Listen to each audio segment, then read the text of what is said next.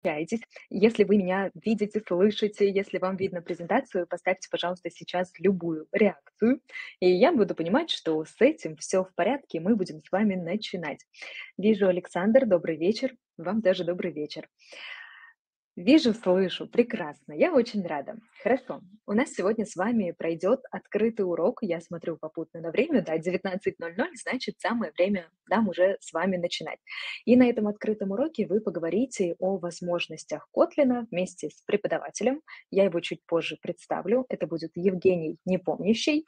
Я начну нашу сегодняшнюю встречу и уже совсем скоро, минут через 10, передам ему слово проведу для вас вводную часть, познакомлю вас с компанией, представлюсь, познакомимся с вами, потому что всегда очень интересно узнать, кто к нам приходит, э, с каким опытом вы приходите.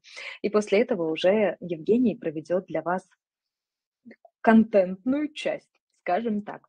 Хорошо, давайте двигаться с вами дальше. Ребят, ребят, мы с вами проверили уже звук, поэтому сейчас просьба найти чат, если вы его нашли.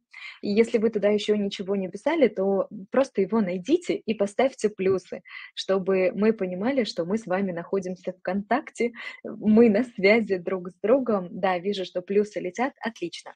Этот чат, он существует для нашего с вами общения. Туда вы можете писать вопросы, там же вы сможете отвечать на наши вопросы.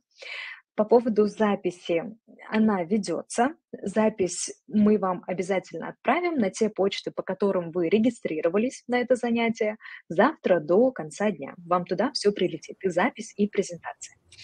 Хорошо, мы двигаемся с вами дальше, начнем с вами знакомиться. Кто я? Меня зовут Алина Баширова, я ведущая мероприятий, и сегодня я как раз в роли ведущей. У меня уже больше даже шести лет опыта проведения онлайн-мероприятий, офлайн мероприятий. В целом я сама тоже из сферы обучения, я занимаюсь тем, что запускаю курсы по софтовым навыкам как раз для IT-специалистов в такой крупной корпорации. Поэтому я сама тоже из сферы обучения, но больше про софтовые навыки, про мягкие навыки, их так еще называют. Сегодня буду в роли ведущей, как уже сказала, я начну, потом включусь в середине, где расскажу вам немножечко про курс, и в конце еще попрошу вас заполнить анкету обратной связи, потому что для нас это тоже такая супер важная история. Хорошо, давайте двигаться дальше. Какие действуют у нас сегодня правила? Во-первых, очень хочется, чтобы вы активно участвовали во всем, что будет сегодня происходить. Что это означает? Чтобы вы отвечали на вопросы, которые будут лететь от нас, и уже, по-моему, на следующем слайде прилетят первые вопросы. Очень хочется, чтобы вы на них тоже написали нам свои ответы. Плюс это означает, чтобы вы не стеснялись задавать вопросы. Поэтому тоже, пожалуйста, пишите свои вопросы, если они у вас будут возникать. Единственный комментарий здесь, что мы не всегда сможем Возможно, может быть, мы будем отвечать сразу, но просто учитывайте то, что мы ваши вопросы видим, но э, иногда не можем ответить на них сразу, потому что, может быть, там к контенту, который дает преподаватель, это не близко, и поэтому, может быть, э, там преподавателю тоже будет удобнее отвечать на вопросы в конце каждого блока. У нас будут там моменты, даже в презентации они отмечены, те моменты, когда мы будем отвечать на вопросы, просто помните, что мы на них ответим. Это будет абсолютно точно. Хорошо, двигаемся дальше. Про запись я вам уже сказала, но я вижу, что к нам присоединились еще новые участники. Ребят, вам тоже привет, вас тоже рады видеть. Вам тогда про запись скажу, потому что очень часто летят вопросы в чат по записи. Запись вебинара вам прилетит на почту завтра до конца дня вместе с презентацией. Что еще? Хочется познакомиться еще и с вами, поэтому я попрошу вас немножечко рассказать нам о своем опыте. Напишите, пожалуйста, сейчас в чат о своем уровне знаний, если вы еще только учитесь в IT или на IT-специалиста, либо если вы уже работаете, то тоже, пожалуйста, поделитесь, какой у вас опыт работы в IT, если уже работаете. Я вижу, что Томас уже пишет Java Middle, класс, хорошо. Так, два с половиной года коммерческой разработки на Java и Kotlin. Костя, спасибо огромное. Хорошо. Kotlin Middle, Оксана, класс.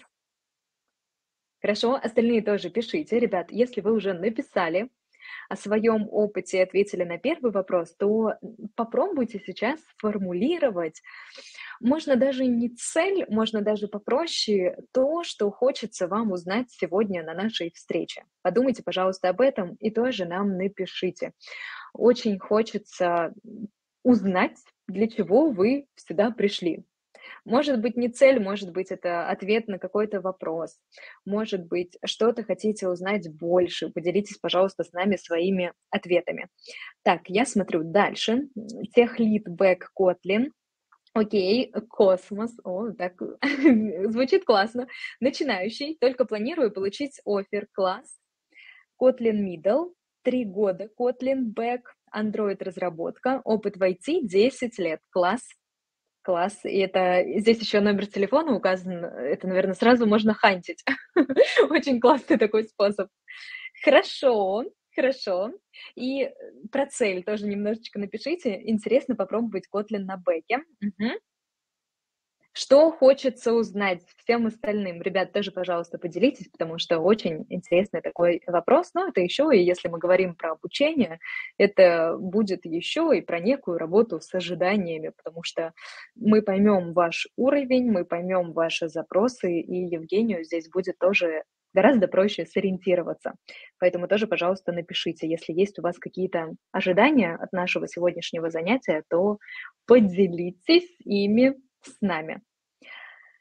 Хорошо, я тогда пойду дальше, а вы, пожалуйста, пишите. Я помню, какой вопрос я задала, я обязательно тоже вернусь к вашим комментариям. Что еще? нас ждет. Я сейчас расскажу вам про компанию, про то, чем занимается компания, и после этого передам слово уже нашему преподавателю, чтобы он провел для вас контентную часть. Но про ожидания, пожалуйста, пишите. Кстати, есть среди вас те, кто подключился в первый раз на наши вебинары? Если да, то поставьте, пожалуйста, тоже плюсик, если вы впервые здесь присутствуете, если ничего пока еще не знаете, может быть, где-то увидели рекламу, подключились или кто-то вам посоветовал.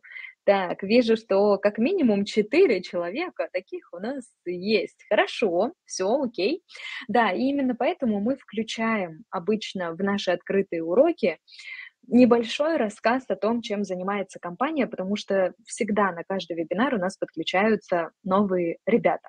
Поэтому, ребята, если вы уже были на наших вебинарах, понимаю, что такие есть, еще раз очень коротко просто расскажу, чем занимается компания, и все, и мы уйдем с вами в контентную часть. Хорошо, если говорить о том, чем занимается компания. Компания занимается созданием авторских онлайн-курсов для IT-специалистов разных уровней подготовки. Вы в чате как раз со мной делились своим уровнем, у кого-то был уровень middle, у кого-то junior, у кого-то, ну, кстати, 15 лет, да, скорее всего, у вас уже уровень лида, но всякое разное бывает.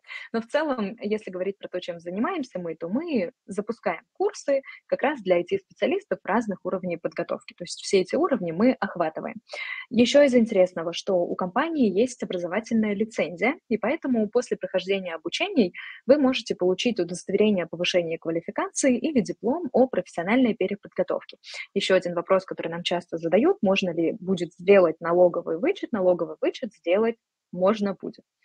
Что еще? У нас более 170 курсов разных направлений. Эти направления вы можете как раз увидеть на слайде. И это количество, оно постоянно растет. На самом деле я, я боюсь представить, сколько будет в следующем году, потому что очень много разных курсов, очень много преподавателей. Про них тоже сейчас расскажу, но давайте немножечко остановимся как раз на цифрах. Если говорить про преподавателей, то у нас более 600 преподавателей, которые делятся своими знаниями и делятся реальными кейсами. В этом как раз и есть наша особенность, потому что те ребята, которые у нас преподают, те ребята, ребята, которых мы называем преподавателями, они имеют свой реальный опыт работы в разных компаниях. И это опыт не там 2-3 года, да, а опыт уже такой весомый. Чаще всего это более 6, более 8 лет. И это, конечно, очень круто, да, потому что мы даем те знания, которые востребованы на рынке.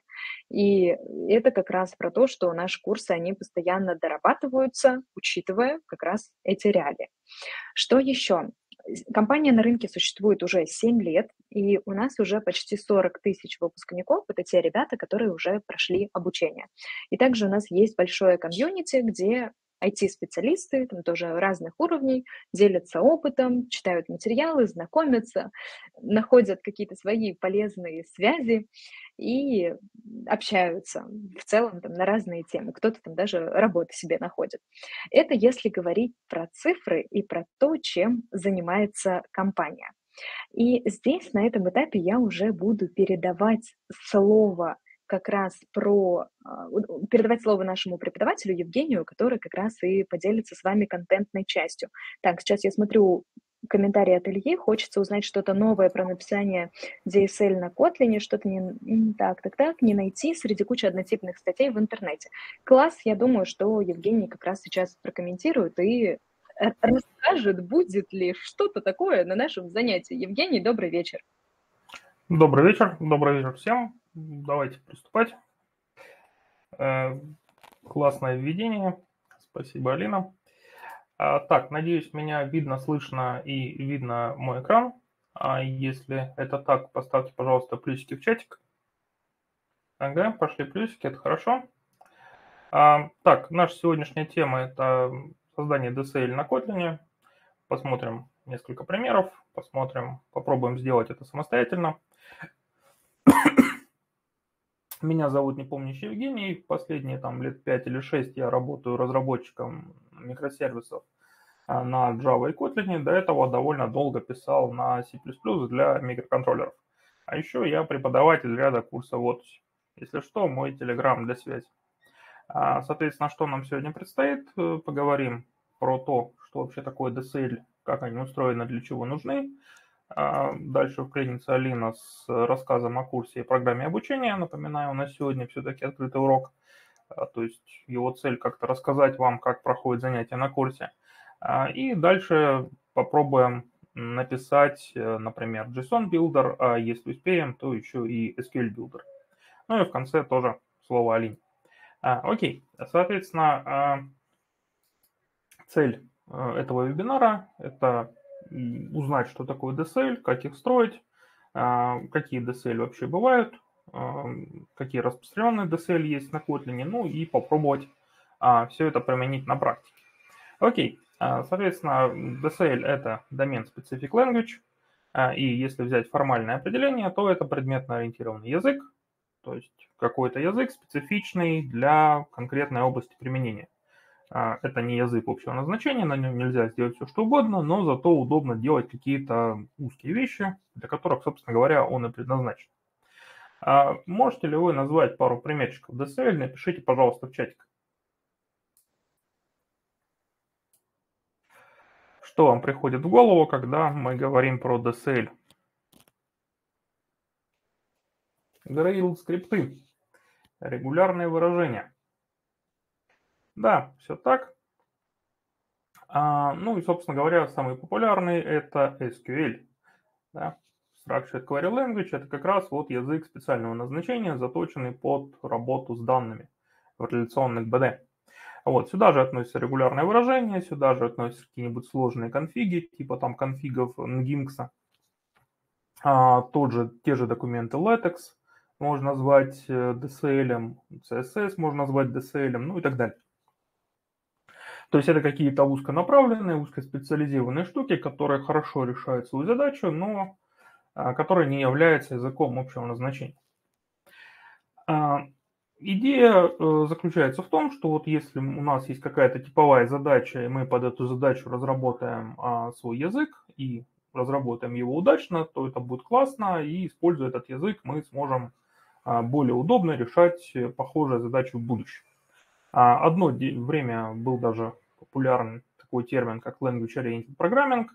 Э, Object Oriented Programming – это Language Oriented Programming. То есть, наверное, предполагалось, что на каждую задачу мы будем прямо делать отдельные языки.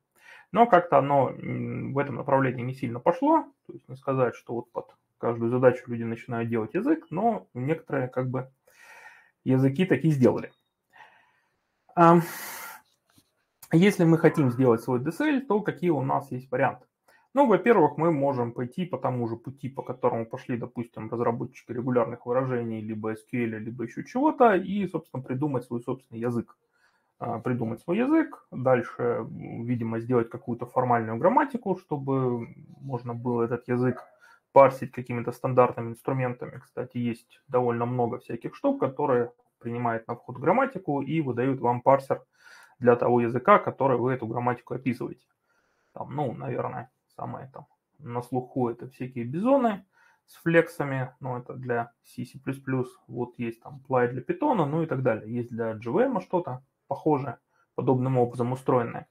Вот, то есть, с одной стороны, вы имеете полную свободу, потому что фактически вы можете придумать свой язык. Единственное там ограничение – это уложиться в тот класс языков, который а, поддерживает та грамматика, которую, в свою очередь, поддерживает парсер.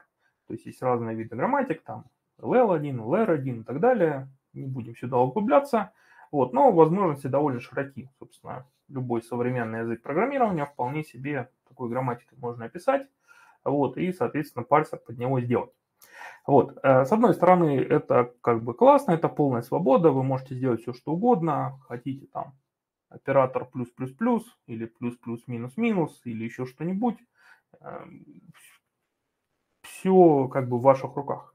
А с другой стороны, это довольно большие трудозатраты. То есть, во-первых, придумать как бы непротиворечивый удобный язык довольно непросто. Во-вторых, э, придется для него там делать инструменты по его интерпретации, компиляции и так далее.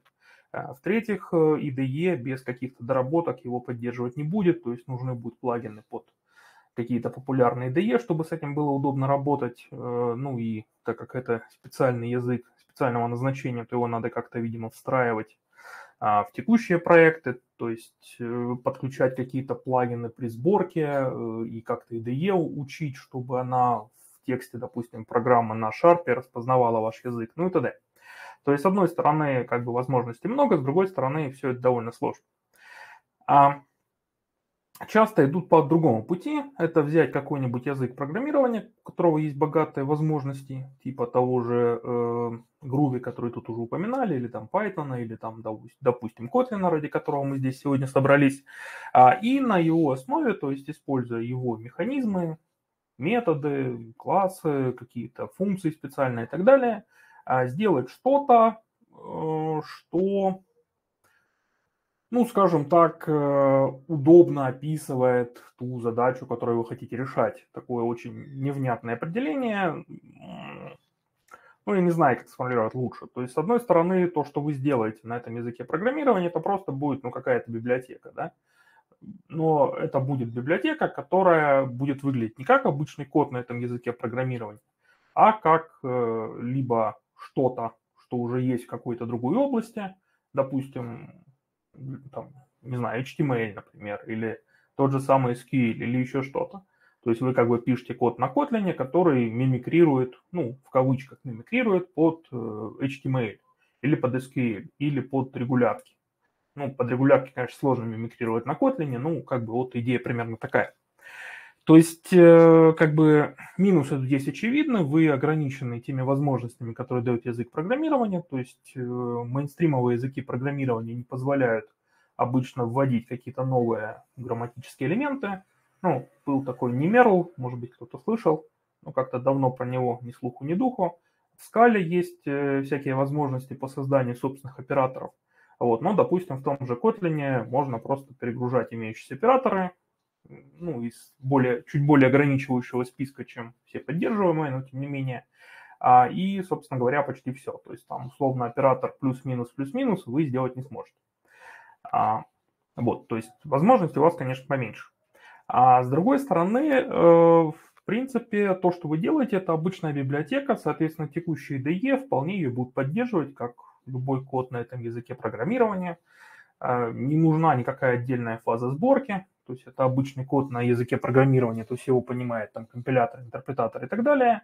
А, и реализовать это довольно просто, то есть порог вхождения низкий. То есть с одной стороны возможности ограничены, с другой стороны как бы можно взять и сделать, потратив не слишком много времени. И вашим а, поделием, скажем так, будет удобно пользоваться.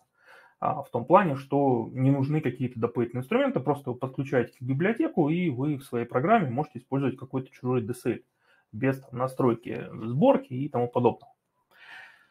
А, окей, давайте посмотрим несколько примеров. Э, ну, э, иногда DSL на Kotlin называют даже всякие там перегрузки операторов. То есть, условно, вот есть коллекция, и джавовый способ добавить элемент в коллекцию – это позвать метод add. Да, в Kotlin перегрузили оператор плюс равно, соответственно, можно добавлять элементы в коллекцию вот таким вот образом. Ну или, допустим, там стандартная перегрузка оператора квадратной скобочки, которая позволяет работать со словариком, с, асоци... с ассоциативным массивом, как с обычным массивом, да, не вызывая метод put. Вот, то есть мы можем перегрузить некоторые операторы а, и, соответственно, получить то, что нам надо. А, еще одна прикольная штука, которая используется, ну, скорее как средство для построения DSL в Kotlin, это, э, по-моему, как же это формально это называется? Деконстрактинг, по-моему. А, когда мы, э, ну, вот такая форма записи, когда мы обращаемся как бы свойством некого объекта, а, как бы разбирая этот объект на составляющие. То есть вот у нас есть некий класс point, у него есть э, x, y координата, к ним можно достучаться вот таким вот образом, по first, по second, как обычно, а можно достучаться вот таким вот образом. То есть вы как бы этот объект разбираете на составные части.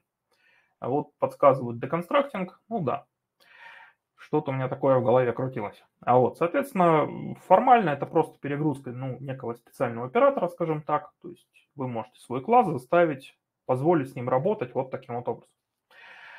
А, еще одна фича Kotlin, которая часто используется при построении DSL, мы можем, а, когда вызываем метод, и э, этот метод принимает лямбду, а, то мы можем, это лямбда последний аргумент, то мы можем опустить вот эти вот круглые скобки. Таким образом, запись выглядит вот примерно так, как здесь на второй строке.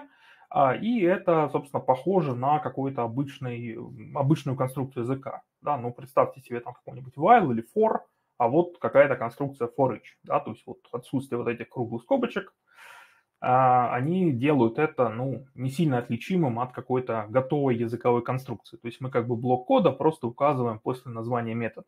Вот по факту это обычный метод, то есть круглые скобочки можно и оставить. Вот, э, можно сюда передать какие-то другие параметры, э, но последний параметр, если это лямбда, то его можно вынести за круглые скобки. Получается, ну, довольно прикольно. И писать чуть меньше. А, еще одна штука, которая есть в Kotlin, это так называемые инфиксные функции, а, которые позволяют писать вот таким вот образом. То есть мы а, как бы вместо вот такой формы записи, когда мы пишем объект точка название метода и в скобочках аргумент, пишем вот таким вот образом. А, первый аргумент, потом название метода, потом второй аргумент. Круглых скобочках нет, круглых скобочек нет, запятых нет и так далее. Работает это только с двумя параметрами, называется инфиксная функция.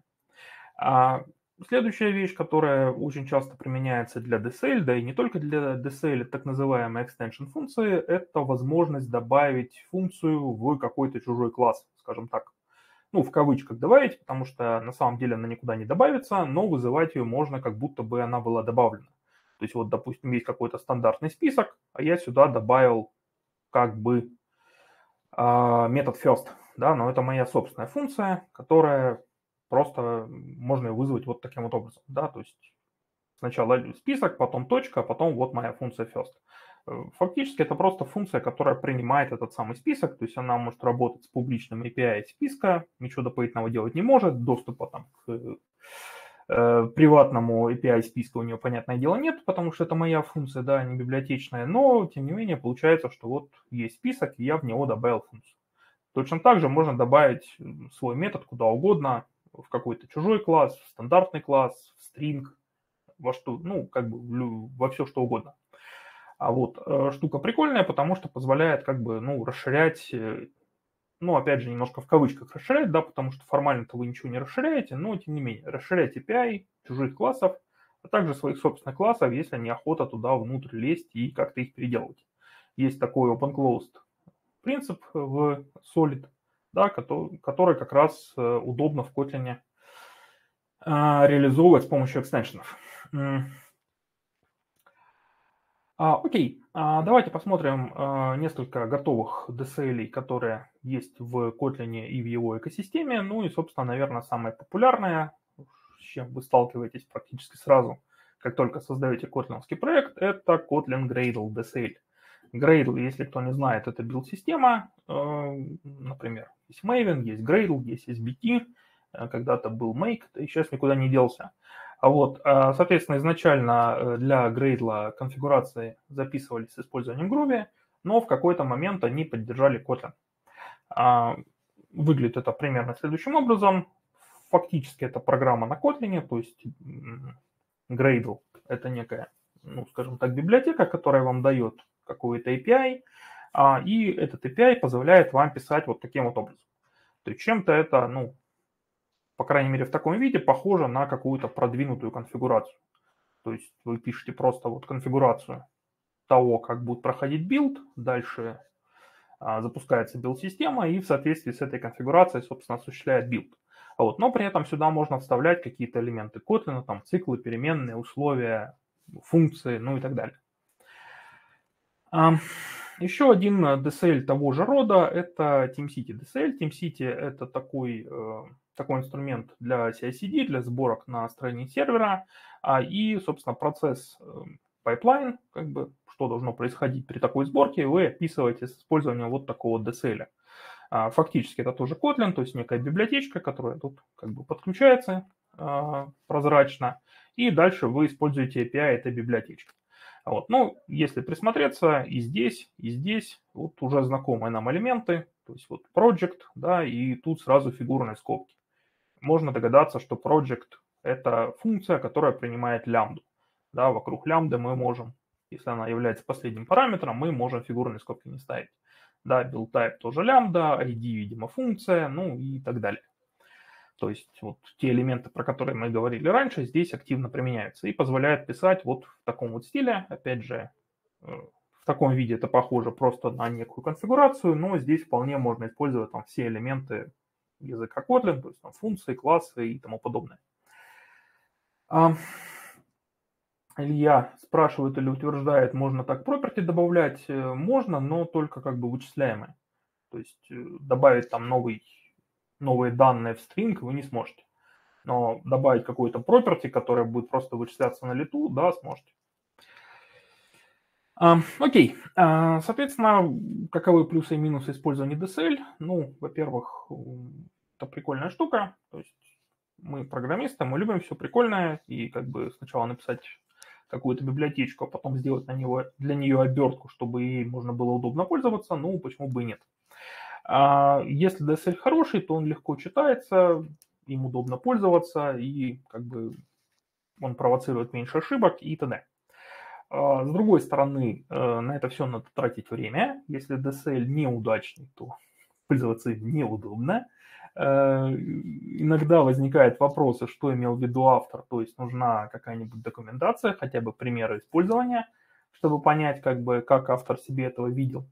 А иногда возникают э, всякие нюансы с множественным this, потому что, ну, вот здесь, когда мы передаем лямбду сюда, то фактически эта лямбда является экстеншеном. Вот IDE нам подсвечивает, что здесь появляется некий this. Да, и получается, что вот здесь, допустим, внутри type, то есть вот в 13 строке у нас как бы два this. Первый this это вот этот project, а второй this это вот этот type. Да, внутри, допустим, вот этого VCS 16 строки у нас появляется еще третий this. И когда мы там вызываем какое-то свойство или какой-то метод, э, не всегда понятно, как бы к какому this он относится. Есть инструменты, как э, блокировать э, как бы ненужное протекание this э, извне. Ну, про это сегодня немножко поговорим уже на этапе практики. А, окей. А, соответственно, такая как бы первая часть у меня на этом и все. А сейчас снова подключится Алина, и после ее слова мы продолжим уже с, с практикой. Скажем так, попробуем сделать свой собственный десельчик. Спасибо okay. большое, Евгений. Ребята, если есть какие-то вопросы или они еще сейчас возникнут, то вы, пожалуйста, тоже их пишите. А Евгений, если что, после моего рассказа про обучение потом прокомментирует. Так, сейчас я запущу демонстрацию своей презентации. Все ненужное уберу с экрана.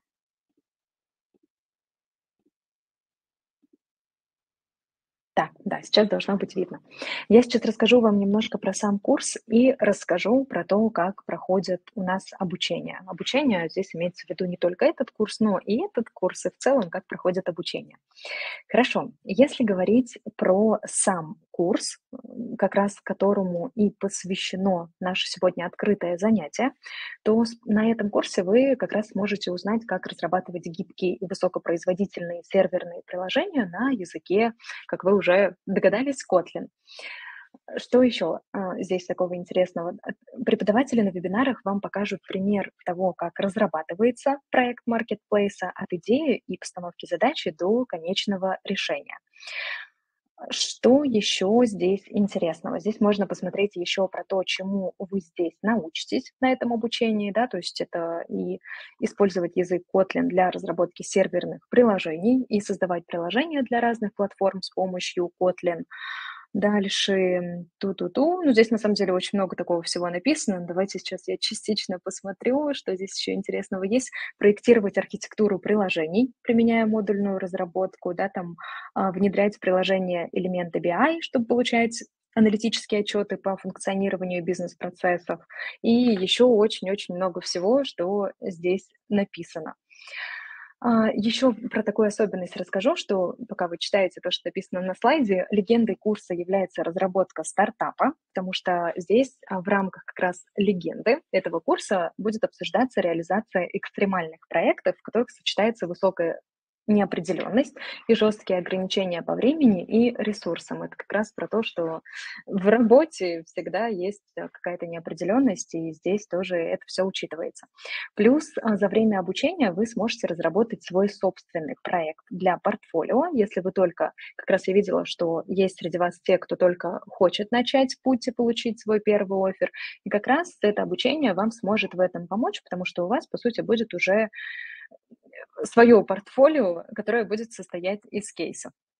А, плюс, а, если вы уже работаете, например, но хотите изучить, допустим, этот язык, или уже есть какая-то, допустим, первичная работа на этом этапе, то вы можете для выпускного проекта как раз, да, то есть у вас последний месяц будет посвящен тому, что вы будете работать над своим собственным проектом, нарабатывать свое такое портфолио. И если вы уже работаете, то вы можете взять свои реальные рабочие задачи, и это тоже окей, да, то есть можно какую-то свою идею развить, это тоже ок. Ну, либо если нет каких-то кейсов, нет мыслей, то мы всегда предоставляем возможность взять учебное задание, задания, то есть мы к этому тоже готовы. Что еще? Здесь можно увидеть как раз а, про информацию про заработные платы. Это если вы еще не работаете, да, то здесь можно как раз увидеть цифры, сколько зарабатывает в Москве в среднем middle специалист, middle плюс специалист и senior специалист. Ну и, конечно, информация про то, что актуальные вакансии всегда есть, их достаточно, особенно для опытных ребят. Что еще? А, что еще? Рассказываю дальше. Программа курса. Из чего состоит программа курса? Здесь вы можете увидеть темы, которые включает курс, да, то есть это и введение в Kotlin, расширенные возможности Kotlin, подготовка к разработке и так далее. И здесь, опять же, э, заканчивается все как раз такой проектной работой, последний месяц он будет посвящен именно этому. Здесь больше такая верхнеуровневая программа, но дальше я вам еще отправлю ссылку на лендинг, и как раз там вы сможете раскрыть каждый из этих пунктов и почитать подробнее, если какая-то тема вас, допустим, заинтересовала. Что еще из интересного? Здесь вы можете увидеть преподавателей курса. Здесь а, есть интересные ребята, да, здесь можно увидеть э, у некоторых, где они работают, но точно можно увидеть, кем они работают, у тех, у кого не написано. Там не всегда можно говорить, где ты работаешь, там по правилам разных компаний. Но, опять же, если говорить про преподавателей, эти ребята имеют практический опыт и а, делятся своими реальными кейсами, потому что опыт у них большой. И про каждого из них можно тоже на нашем лендинге прочитать после того, как я вам отправлю ссылку. Что еще? Про процесс обучения вам тоже расскажу. Если говорить про процесс, то все обучения у нас проходят в живом формате. У нас не предзаписанный курс.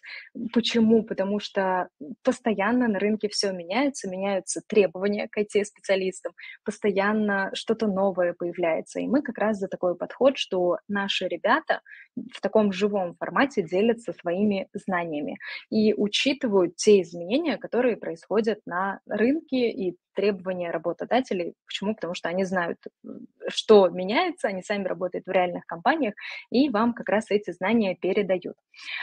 Обучение проходит по вечерам, два дня в неделю. Сейчас не помню по дням, но если важно вам, то найду эту информацию. На лендинге эта информация есть. И если вдруг вы пропускаете какое-то занятие, то вы всегда можете к этому вернуться, потому что все записи у нас есть, и они у вас остаются навсегда. По каждому домашнему заданию вы получаете развернутую обратную связь от преподавателей. И если вдруг у вас возникнут какие-то вопросы по обучению, по домашнему заданию, вы это тоже можете всегда спросить в чате, и наши преподаватели с удовольствием вам ответят на ваши вопросы. Есть еще время на обучение, здесь указанное на слайде. Это про то, сколько времени вам нужно будет точно учесть в своем календаре, чтобы запланировать, да, и чтобы не было для вас таким сюрпризом, потому что, да, два раза в неделю у нас обучение, полтора часа длится одно занятие, и это уже три часа на обучение. Плюс 4-8 часов у вас будет уходить на домашнюю работу. Это тоже, пожалуйста, учитывайте, ну, потому что без практики не научиться. Здесь ни, для кого не секрет, что информации ее очень много. Ее очень много на Ютубе, в открытом доступе очень много информации. Ценность именно наших курсов в том, что, во-первых, мы делимся реальными кейсами, да, потому что наши преподаватели – те люди, которые работают в компаниях. И второе, мы для вас уже собрали эту информацию, мы структурировали, то есть вам не надо тратить время на поиски, вы уже забираете готовый контент. И плюс это все делаете в таком практическом формате, потому что, опять же, просто послушать, просто прочитать, этого много, много везде. А у нас вы именно учитесь на практике это все делать. Что еще? Если вдруг вы уже были на наших обучениях, то всегда мы готовы вас видеть и будем рады видеть вас снова, потому что наши программы обучения, они всегда обновляются. То есть каждый запуск там появляется что-то новое, что-то интересное для вас. Здесь как раз есть QR-код на лендинг, можно по нему пройти и там прочитать более подробно про программу, но еще сейчас я вам в чат ссылку продублирую, чтобы вы там тоже могли найти информацию, которая вам нужна, потому что там вся подробная информация есть про этот курс. Сам курс стартует 29 ноября. Его длительность 5 месяцев, и, как я уже говорила, последний месяц будет посвящен вашей проектной работе.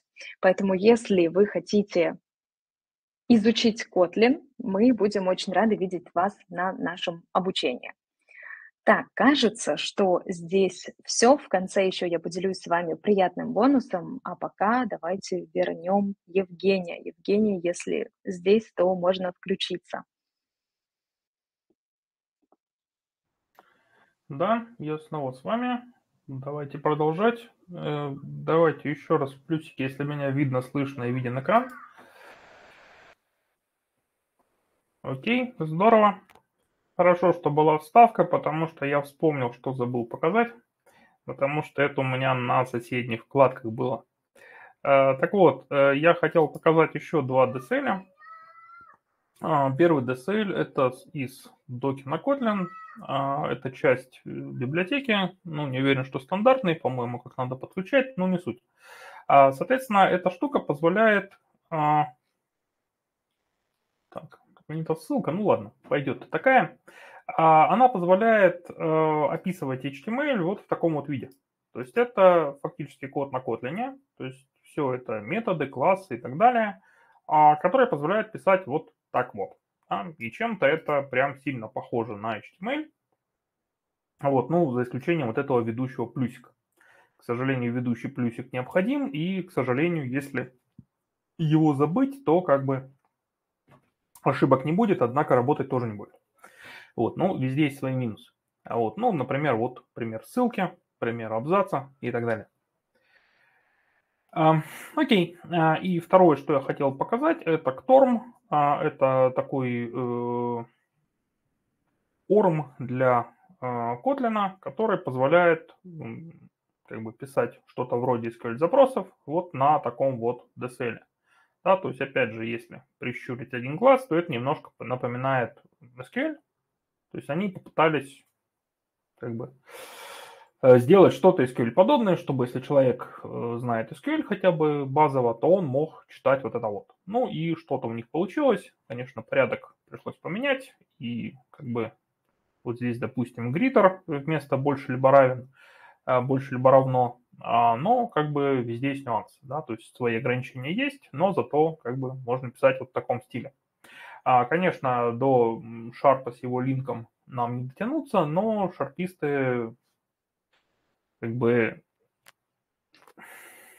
сделали нечестно, они внесли правки в сам язык. Вот, а Kotlin э, в язык правки не вносил, но зато позволяет стандартными средствами делать вот что-то подобное. Зато в Sharp свой аналог LINQ вам не сделать, а в Kotlin свой, свой аналог вот такой записи вполне себе. А, окей.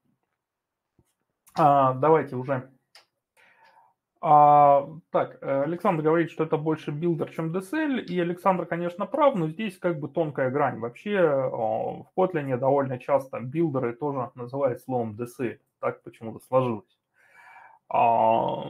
Ну, как бы не совсем это билдер все-таки, мне кажется. Тут сюда вложили довольно много усилий, чтобы это было, напоминало как-то SQL, и что-то у них получилось. Ну, тут надо как бы понимать, что DSL, когда вы пишете на каком-то языке общего назначения, вы не совсем свободны, да, вы сильно ограничены теми конструкциями, которые вам дает язык. Вот, в этом есть как бы свои плюсы, но в этом есть и свои минусы. Окей, а, давайте попробуем сделать такой билдер своими руками. А, собственно говоря, э, допустим, мы хотим JSON э, формировать вот примерно таким образом. Как нам этого добиться? собственно говоря, давайте добиваться. А, окей. А, начнем с того, что пишем а, структуру для JSON. То есть набор классов, которые нам позволят создавать вот объекты, объекты JSON. Я буду, скажем так, копипастить кусочками и немножко писать. А достаточен ли размер шрифта или надо сделать побольше? Поставьте плюсик, если ок, и минусик, если не видно. Окей. А, значит, для начала ну, нам нужно создавать какие-то объекты, то есть нам нужен какой-то класс, в котором будет храниться JSON. Соответственно, давайте сделаем такой класс. Назовем его JSON. А, значит, э, что такое JSON? Это массив, это хэш, объект, да, и иногда под JSON понимает даже отдельное число или там строку, не помню, что там по стандарту. Может быть, кто-то подскажет, является ли условно 42 корректным JSON, или все-таки корневая штука должна быть словариком или эм, массивом. А, соответственно, э, давайте считать, что является, и э, у нас внутри этого JSON лежит какое-то значение. И потенциально даже null. Да? То есть давайте этот факт выразим. А, соответственно, что такое JSON value? Это интерфейс, потому что у нас это может быть число, это может быть строка, это может быть массив, это может быть объект или хэш. А, то есть давайте сделаем интерфейс. Это будет просто маркерный интерфейс, маркерный в том плане, что у него не будет а, методов, и э, все э, классы, реализующие этот интерфейс, будут объявлены у нас в этом же модуле. А, соответственно, давайте пометим этот интерфейс как select. Select означает, что извне реализовывать этот интерфейс нельзя. То есть все наследники должны быть определены прямо здесь. Соответственно, давайте поопределяем наследников. Ну, собственно говоря, например, начнем с number и сделаем класс JSON number, который будет, как несложно догадаться, хранить number. К счастью, в Kotlin, как и в Java, есть соответствующий класс, который можно положить любое число. То есть это базовый класс для любого числа. Как э, встроенного, там типа int, double и так далее, так и какого-нибудь big decimal. Вот. Ну и реализуем наш интерфейс JSON Value. Вот, соответственно, похожим образом сделаем boolean, string, array и object.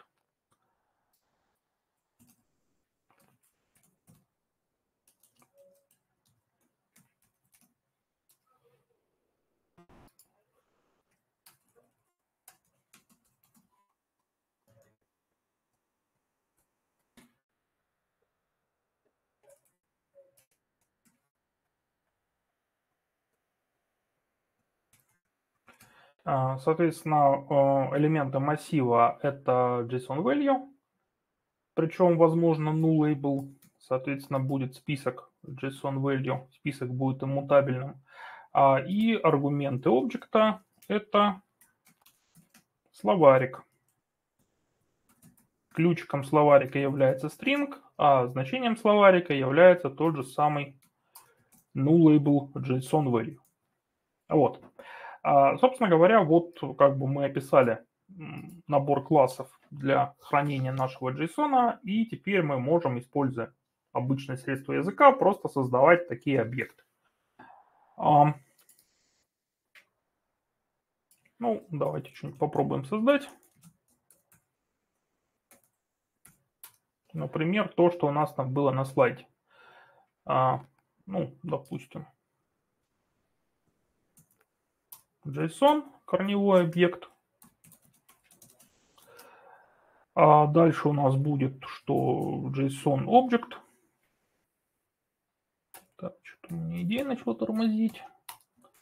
Это нехорошо, который должен получить словарик. Ну, давайте я это набирать целиком не буду.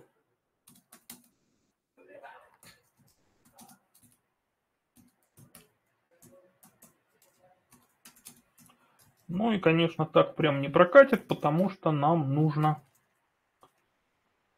вот это превратить в стринги, а вот это превратить в number.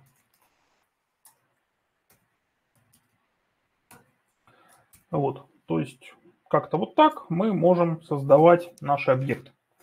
А, не сильно это классно выглядит, конечно, но доступно прямо из коробки без написания чего бы то ни было. Если это отформатировать, то уже как-то более-менее. А, окей. А, в принципе, вот то, что мы создали, в рантайме будет использоваться именно оно. Ну, то есть там какие-нибудь методы, которые мы напишем для оперирования с этим JSON, они будут использовать вот такие вот объекты. То есть если мы хотим как-то более удобно это строить, тогда нам нужен вот какой-то билдер. Если мы это создаем пару раз, то как бы можно вот этим вот и ограничиться. А Обязательно, чтобы был дата-класс, спрашивает Николай. Нет, не обязательно, совершенно. Просто дата-класс из коробки дает некоторые дополнительные преимущества. Например, у него реализован метод toString, реализован э, метод equals и hashCode. Ну, то есть ошибки-то не будет, просто дальше этими классами будет менее удобно пользоваться. Вот, дата-класс э, в Kotlin это некий аналог record'а в Java или Lombok'овской аннотации Data, например. Вот, то есть класс с э, каким-то реализованным уже функционалом. Окей, пусть остается дата. А, соответственно, давайте теперь, а, собственно, перейдем к написанию билдера, который позволит нам удобно такие объекты создавать, а не вот таким вот образом. А, и, собственно, у меня уже написаны тесты, я их начну раскомментировать и делать так, чтобы они собирались. А, то есть для начала я хочу иметь возможность писать вот таким вот образом. А, мы с вами уже видели, что вот это вот, это скорее всего просто метод, который принимает лямбду. Да, тогда у нас будет вот такая вот запись. А, соответственно, давайте такой метод сделаем.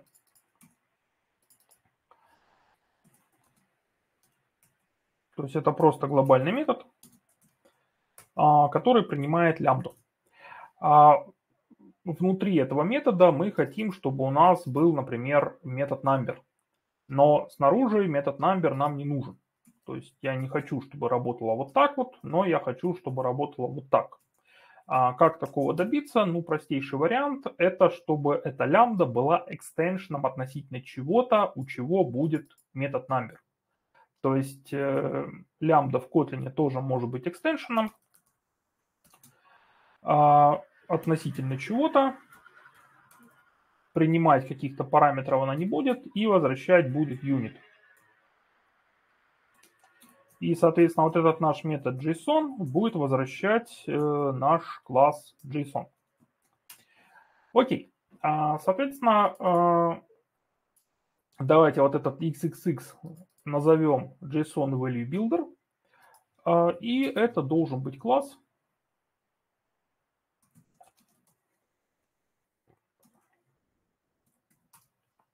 И если мы так напишем, то здесь у нас уже красного станет поменьше. А, то есть вот, э, я не знаю, насколько вам видно вот это светло-серое на темно-сером, но здесь мне идея подсвечивает, что вот, этот, э, вот эта лямбда получается this типа JSON Value Builder. Вот. Ну и дальше надо вот этого JSON Value Builder сделать метод number. А, давайте такой метод сделаем, пусть он пока ничего не делает.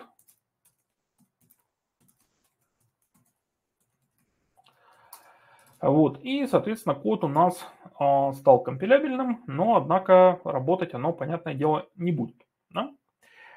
А дальше надо, чтобы это все заработало, то есть чтобы вот здесь вот у нас ушли ошибки.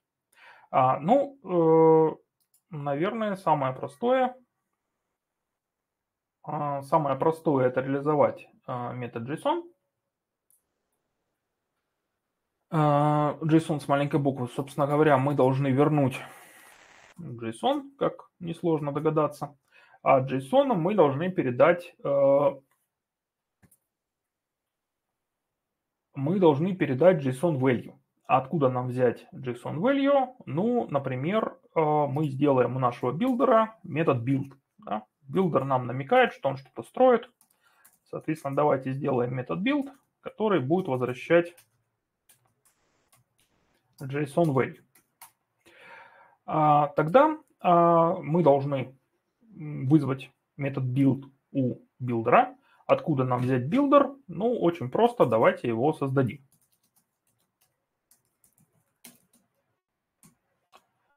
JSON Value Builder. А, и здесь мы скажем builder build. Ну, понятное дело, мы создали пустой билдер, вызвали метод build у пустого билдера, получим мы, очевидно, какой-то пустой объект, то есть нам этот билдер нужно еще инициализировать как-то, наполнить чем-то. И за наполнение отвечает как раз вот это лямбда-блок, который мы сюда передали. А, то есть этот метод блок надо вызвать, ну и давайте это проделаем. Он является экстеншеном, то есть вызывать его можно вот таким вот образом.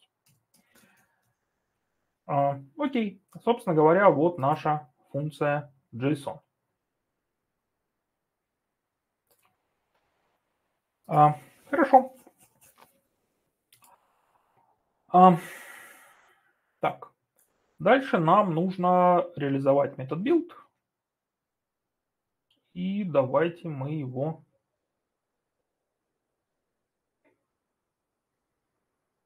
Так, метод build JSON value. Так, давайте я только немножко переделаю, иначе у меня потом не состыкуется с тем, что я запланировал. Да, давайте сделаем так, что э, build у нас будет возвращать JSON, а не JSON value. А, соответственно, здесь мы вызываем это вот таким вот образом. То есть JSON мы оборачивать не будем, потому что это обернет сам метод build. А, окей. А, Окей. А, соответственно, дальше а, мы хотим, чтобы вот когда мы здесь позвали метод number, а, этот number, ну вообще, что мы хотим, чтобы здесь получилось? Мы хотим, чтобы здесь э, получился, видимо, json из одного числа. Да, то есть вот, чтобы значением, да, чтобы вот эта штука была фактически оберткой над JSON number, чтобы value этого JSON был number, и чтобы значением этого номера было число 10. Да? А, то есть нам нужно, чтобы вот этот вот вызов этого метода number, как-то это value взял а, и куда-то бы его сохранил. Да? И потом э, метод build это бы использовал. А, окей, а, соответственно, давайте мы это value прикопаем.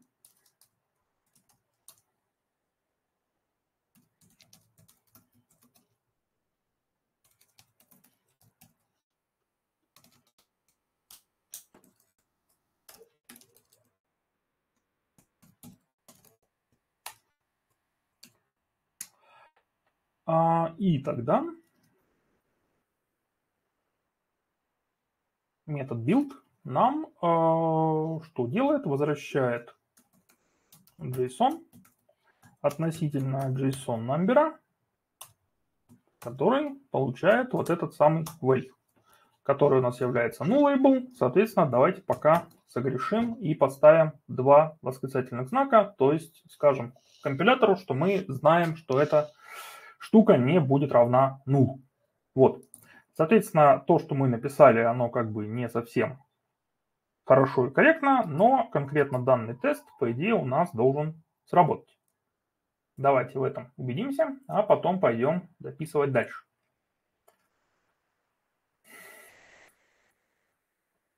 Вот, он прошел, ура. Но как бы не совсем здорово, потому что если, например, мы сделаем вот так вот, то мы получим какой-то null pointer exception, скорее всего. И вот мы его словили. Это как бы не здорово. Соответственно, давайте теперь немножко все это дело улучшать. А, значит, во-первых,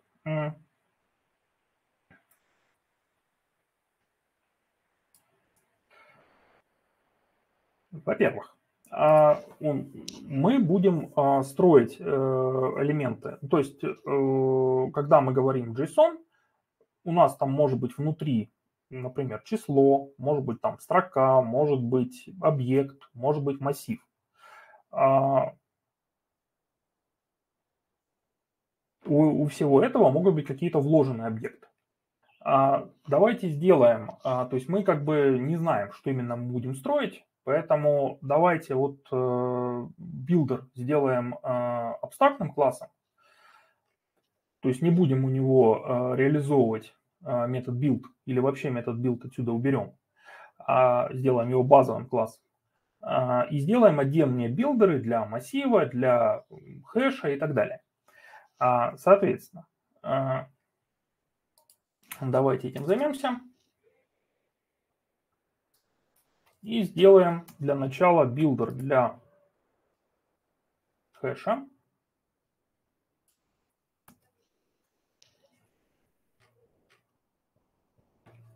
который будет наследовать от нашего JSON Value Builder, а, в котором будет метод build,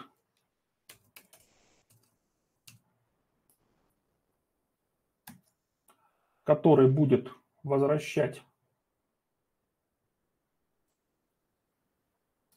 что он будет возвращать? Он будет возвращать JSON Object. А, Соответственно, чтобы построить JSON-объект, создать JSON-объект, нам нужен вот это вот, вот это вот словарик. Соответственно, мы должны этот словарик где-то заиметь.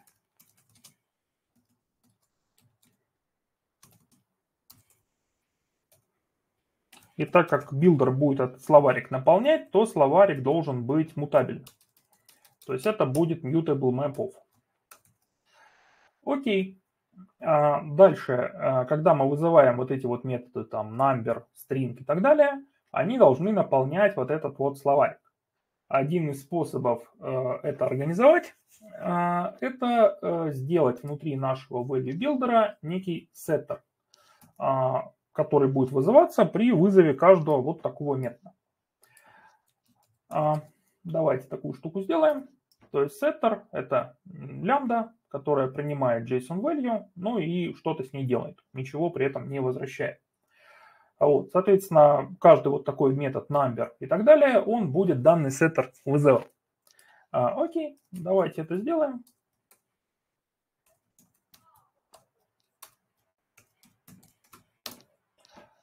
Вот метод number. Ну и давайте сразу сделаем парочку других методов. Например, string.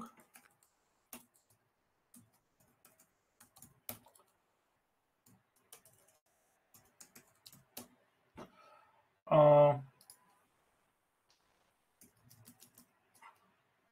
или, например, bool.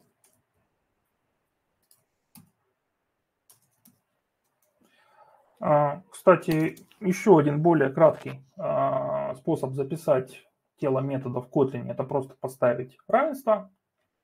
Вот, соответственно, давайте так и попробуем сделать. Создадим JSON boolean от нашего value и применим наш setter. Для этого есть а, удобный метод apply, который можно вызвать из чего угодно, и которому мы передаем вот ту лямбду или тот метод, который нужно которому нужно скормить вот это вот значение. Вот, вот это все мы тоже можем написать в таком стиле, просто как бы для примера. А, окей. Нам понадобится еще метод для построения хэша и массива. Ну, чуть попозже их напишу. А, давайте вернемся к нашему Object Builder. А, соответственно, нам нужно а,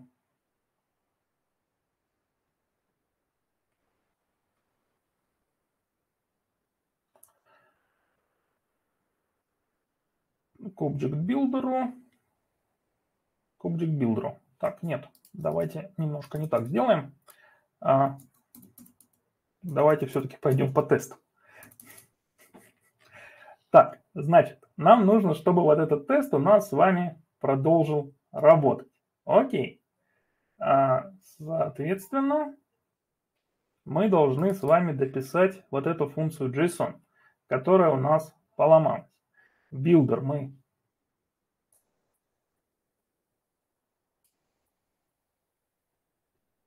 Да. Э, она у нас, получается, создает json из того элемента, как бы, который мы ей скормим. А, таким образом, у нас добавляется JSON Builder, который наследует от того же самого JSON Value Builder. Да, кстати, здесь еще круглые скобочки нужны. И нужно его пометить как Open. Ну, можно, кстати, пометить как sealed, потому что все наследники у нас будут здесь, а наследовать из него снаружи нам не требуется. А, окей, соответственно, а, наш JSON Builder будет прикапывать value, а, и ему нужно передать а, в базовый класс setter, точнее этот setter установить. Ну, давайте это и проделаем.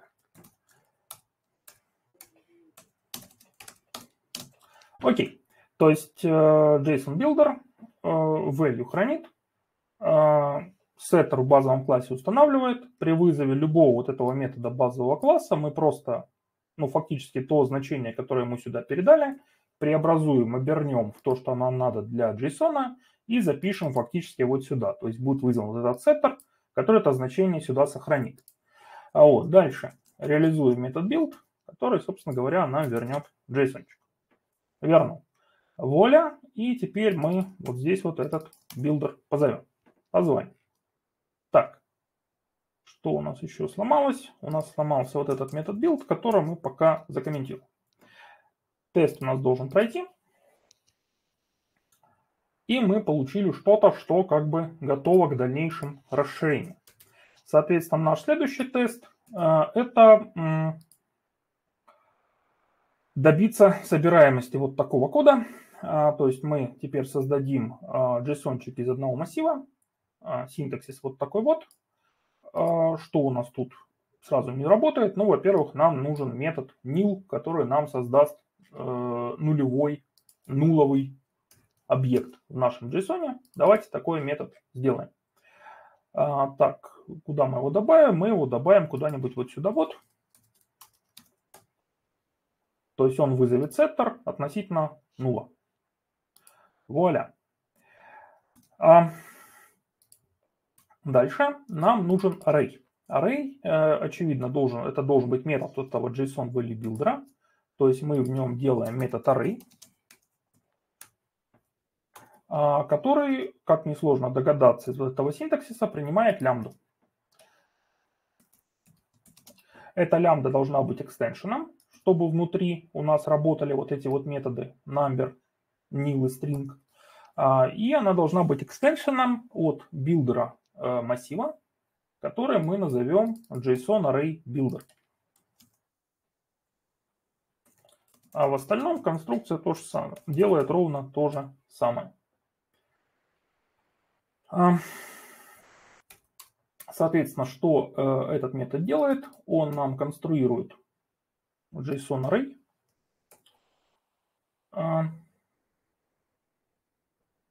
Точнее, он нам конструирует JSON array builder,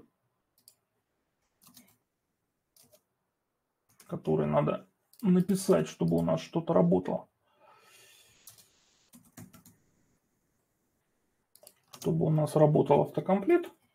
А дальше применяет относительно него нашу лямбду. Давайте используем более короткую форму записи, вот такую, через apply. А, и дальше нам нужно позвать наш сеттер, передав туда, собственно, наш передав туда результат нашего билдера, то есть сделав что-то вот такое. Чтобы все это завелось, заработало, нам нужно дописать наш JSON Array Builder. А, реализуем здесь метод build. А, метод build у нас будет возвращать JSON Array, так как мы строим массив. А, ну и, собственно говоря, этот JSON Array будет браться просто из тех значений, которые мы в этот массив запихаем. Да, эти значения нам нужно где-то хранить, соответственно, заведем а, списочек, а, где они будут храниться. Списочек будет мутабельный, потому что он будет пополняться по мере вызова соответствующих методов. А, и элементами этого списочка будут JSON value nullable. Вот. А дальше мы просто создадим JSON array и скормим сюда вот этот самый список. А, ну и чтобы это все работало, нам нужно инициализировать setter в базовом классе. Все, что передадут этому сеттеру, нам, мы просто сохраняем в нашем списочке. То есть вызываем метод add у нашего списка. То есть по мере вызова вот этих вот методов, все это будет падать в этот список. Ну и когда мы позовем build, то мы из этого списка получим JSON array. А вот, и метод array а, возьмет этот array и снова передаст сеттеру. Но уже не вот этому, а какого-то другого а, билдера. Окей, соответственно, когда я это сделал, у меня, во-первых, э, код побелел, ушли ошибки. Во-вторых, в результате у меня должен создаться JSON в котором будет лежать массив, в котором будет содержаться вот э, то, что мы этому массиву передали. То есть number, null и вот этот вот стринга. Давайте это запустим. Убедимся, что ничего не сломалось. Вот, все прошло, все классно. А, следующее, а, это, собственно говоря, создание хэш-объекта, ну, то есть словарика. А, здесь используется новый метод obj, который получает лямбду, внутри которой у нас вот такие вот пары.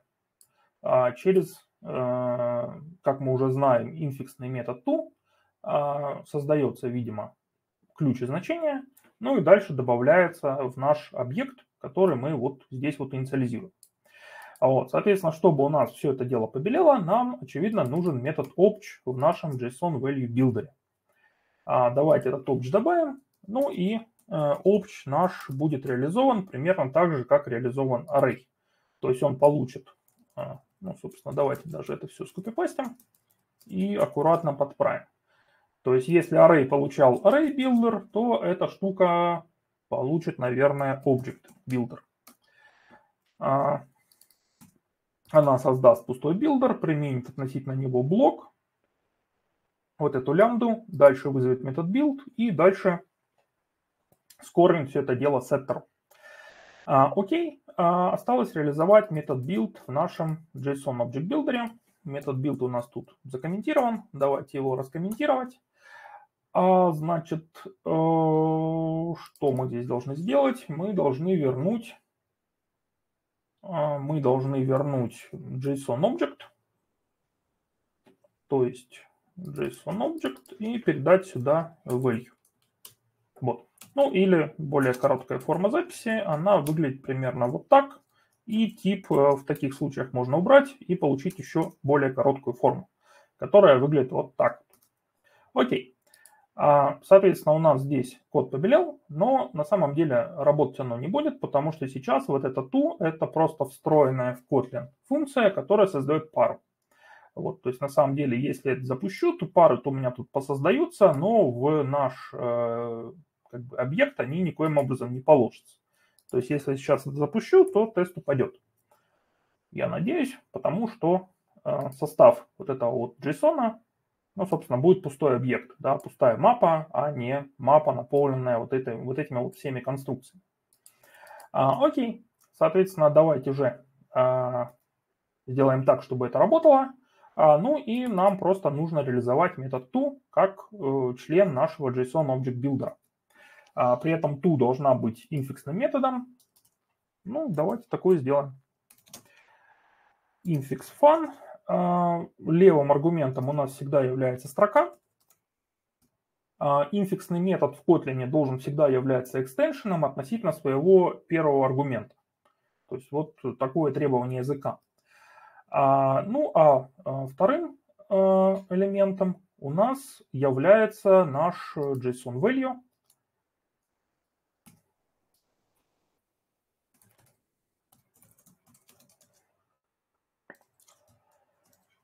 А, и что эта штука должна делать? Она просто добавляет в вот в этот вот словарик то, что она получила.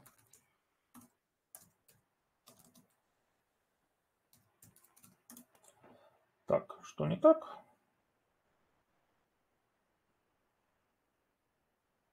Э, что не так?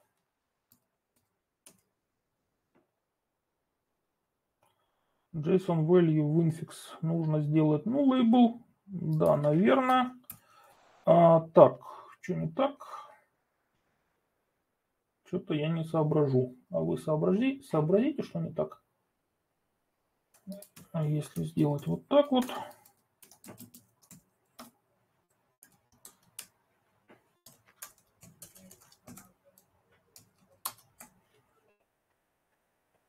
А, This, а, то у нас здесь это string, то есть лучше тогда сделать вот таким вот образом, дать, дав разные названия.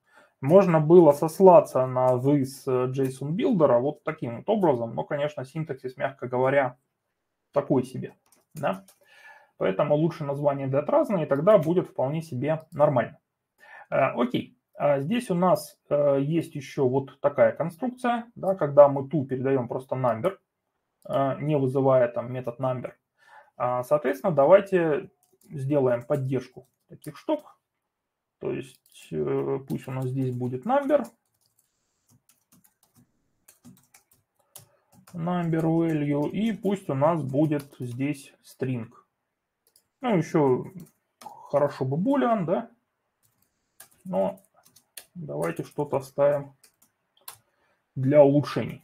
Ну вот, соответственно, по идее, все у нас нормально, и по идее все должно работать. Давайте запустим и проверим. Нет, все сломалось, точнее все не починилось. Так, у нас добавился А, но не добавилось все остальное, да?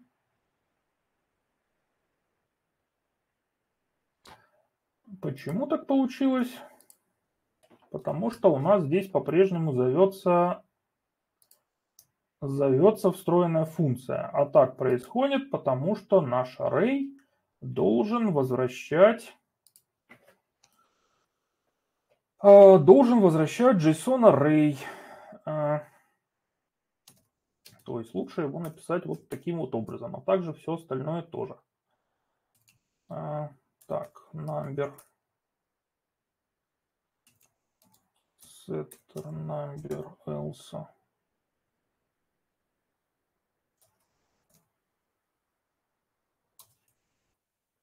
А, так, сейчас.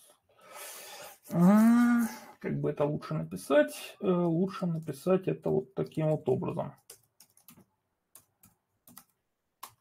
else setter. Вот. А, то есть нам надо, чтобы каждый из этих методов э, возвращал обернутый этот самый, обернутое значение в наш, наш json класс. Вот, соответственно, простой способ в одну строчку это сделать, в одно выражение это сделать, это вот такой вот синтаксис. А, так, то же самое для Нила. Дальше у нас array мы написали и opt мы написали. Давайте запустим. Теоретически должно заработать. Но нет. Так. У нас добавился А. У нас добавился Б. Но у нас не добавился С. Почему у нас не добавился С? Что-то у нас не то с обджем. А, потому что я забыл здесь убрать. А, здесь убрать, да? Вот теперь точно должно работать. Воля, заработала. Давайте запустим все остальное. Все остальное у нас тоже заработало. Вот, но что-то вот такое вот. Можно как бы поулучшать дальше, добавлять всякий сахарок еще, чтобы работали какие-то более короткие формы записи, а, поулучшать методы. Вот. А, но мы это оставим как бы для самостоятельного изучения. А, что здесь еще надо сказать? То, что у нас есть такой момент, как протекание this. То есть вот здесь вот внутри obj у нас доступны какие-то методы JSON Value Builder. То есть у нас вот внутри obj, вот в этом месте, два this. Вот этот this и вот этот this. На самом деле еще this вот этого класса, ну ладно, мы его пока замнем. А, то есть если бы у вот этого вот а, JSON Value Builder были бы какие-то условно уникальные методы, которых не было бы вот здесь вот, то мы бы ну, могли бы их вызвать. Ну, здесь как бы это не сильно применимо, хотя это применимо вот здесь. Вот смотрите, вот допустим, я могу внутри нашего array написать что-то вроде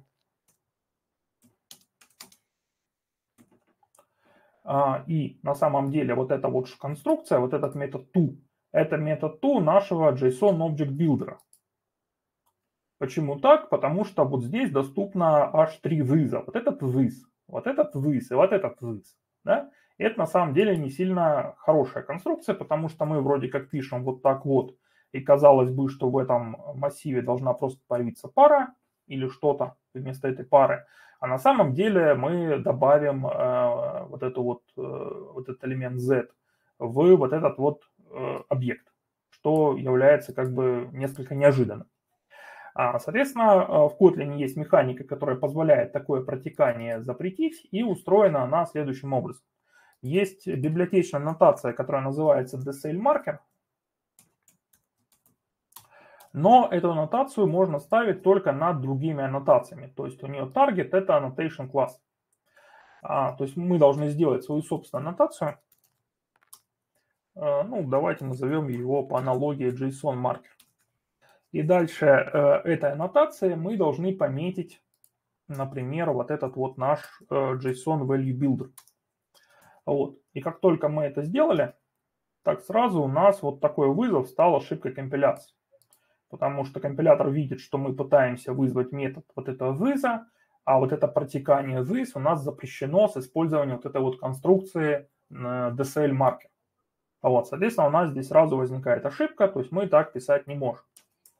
Вот, поэтому вот эта аннотация, она довольно полезна, и не забывайте ее ставить, ее использовать, когда создаете свои собственные DSL вот в таком вот стиле. А, окей, а, собственно, вот он, наш э, JSON DSL-чик. А, да, вот Александр уже подсказал насчет э, собаки. Два разных слыза. Я что-то сразу не сообразил, но потом такие сообразил. Хорошо, у нас с вами еще остается немножко времени. А, давайте попробуем сделать другой DSL-чик, а, а именно а, DSL-чик для формирования SQL-запросов. А, у меня тут есть отдельный набор тестов, Допустим, я хочу э, писать как-то так, чтобы у меня в результате формировался вот такой вот SQL-запрос. То есть мы не будем пытаться работать с какой-то реальной базой данных, мы просто ограничимся формированием SQL-запроса в виде текста. а, чтобы сфокусироваться именно на DSL. А, то есть вот, допустим, вот так вот писать или, допустим, как-нибудь вот так вот писать. То есть query из такой-то таблицы, где, например, кола не равен нулю. А, то есть попробуем сделать такой ктор на минималках. Кторм на минималках. А, соответственно, давайте а, такую штуку попробуем сделать. А, для начала нам нужен метод query, который принимает лямбду. А, ну и чтобы метод from работал только внутри этой лямбды, то метод from, то есть лямбда должна быть экстеншеном, а from должен быть методом, а, членом вот этого вот экстеншена, ну того класса экстеншеном, который является лямбда. А, соответственно, давайте такую штуку сделаем для простоты и быстроты. Давайте я буду писать прямо здесь, в классе теста. То есть нам нужен какой-то класс билдера, нам нужен метод query, который принимает extension относительно вот этого билдера, а, собственно, знакомый нам уже механизм. А, ну и возвращает он а, новый builder, относительно которого применена лямбда. То есть вызываем стандартный метод apply, передаем сюда эту лямбду. Собственно, с методом query у нас с вами все.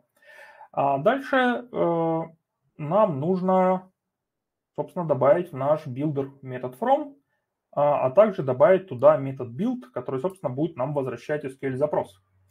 А, окей. А, метод from у нас принимает название таблицы. Название таблицы нам нужно где-то сохранить. Ну и, соответственно, метод from должен просто-напросто сохранить это самое название таблицы. Дальше остается реализовать метод build. А, ну, во-первых, э, давайте убедимся, что таблицу установили. То есть будем считать, что без указания таблицы работать мы не можем. А, вот. Ну и далее мы должны вернуть SQL запрос. И давайте для начала в лучших традициях TDD сделаем так, чтобы тест работал, а дальше хоть трава не расти. Соответственно, по идее, вот эта штука должна заставить наш наш тест проходить. И он прошел. Хорошо. Следующий тест, он уже указывает э, те колонки, которые нам нужно выбирать из нашей таблицы. А, то есть нам нужен метод select, который принимает, видимо, одну либо несколько колонок. А, ну, соответственно, давайте использовать, использовать vararg. То есть vararg позволяет Э, сказать, что этот метод принимает 0,1 или более параметров. А, ну и те колонки, которые нам передали, нам тоже нужно где-то прикопать. И давайте сделаем это в списке columns. Соответственно, columns, all, columns. Вуаля. А дальше э, эти самые колонки надо включить в наш запрос. Ну, давайте это проделаем. То есть колонок у нас может не быть. То есть, если их нет, тогда звездочка. В противном случае название колонок через запятую. Ну, давайте пока не заниматься экранированием. А, вот, соответственно, но тест на самом деле проверяет, что если не позвать метод from, то все должно упасть. То есть он проверяет фактически вот этот вот assert. Ура, все упало, тест прошел. А следующий тест делает выбор как раз из колонок, и он должен проходить, потому что мы этот код уже написали. Он проходит, ура, ура. А, так, следующий тест. По идее, дубликат предыдущего. Окей.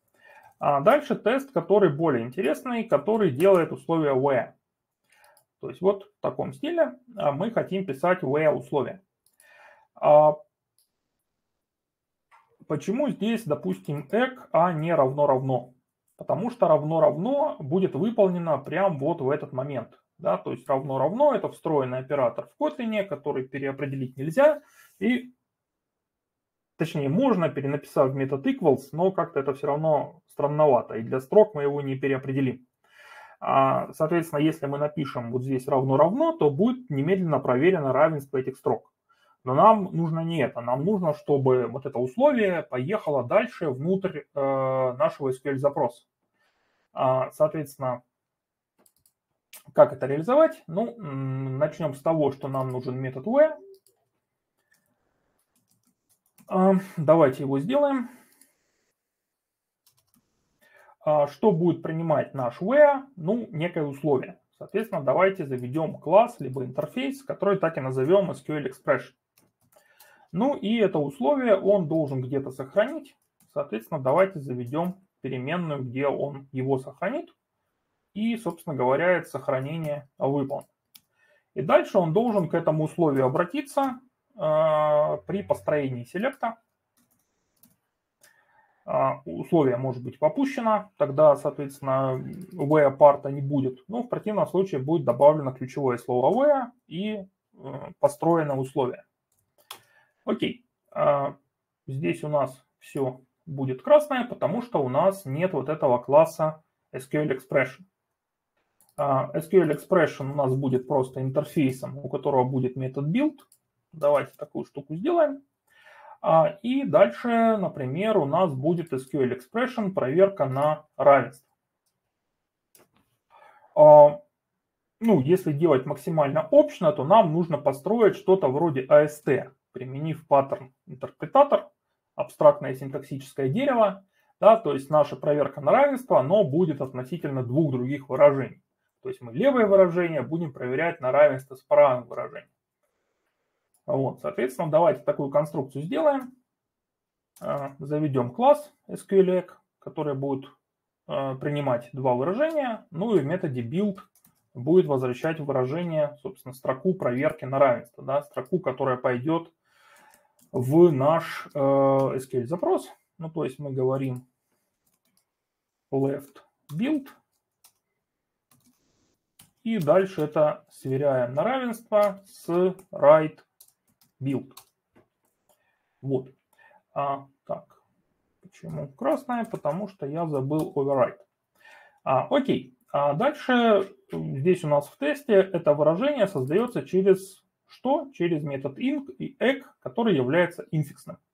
Соответственно, это инфиксный метод для строки. Давайте такую штуку сделаем.